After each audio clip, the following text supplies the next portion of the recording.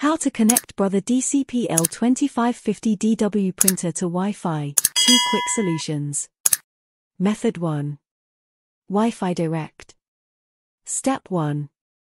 On the printer's control panel, press the menu button. Step 2. Once you've selected the network option, use the down arrow button and click OK. Step 3. Press OK after choosing Wi-Fi Direct with the down arrow once again. Step 4. Then choose Manual and hit OK. Step 5. Your printer will show the network name and Wi-Fi direct password for a duration of 2 minutes. Step 6. Navigate to Wi-Fi settings on your mobile device, then choose the network name that begins with direct under Wi-Fi network. Step 7. After putting in your Wi-Fi direct password, select Connect. Step 8. You will get a connected message on the printer screen after the connection is complete. Click OK to close it. Method 2.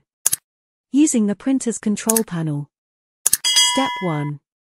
Hit the menu button located on the control panel of your printer. Step 2. Once the network option has been selected using the down key, press OK. Step 3. Then choose WLAN and hit OK. Step 4. Press OK after selecting the Setup wizard with the down key.